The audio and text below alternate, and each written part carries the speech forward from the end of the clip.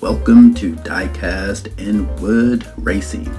Here you'll find 164th scale dioramas, diecast racing, DIY how-to videos, and more. Also, thanks for subscribing.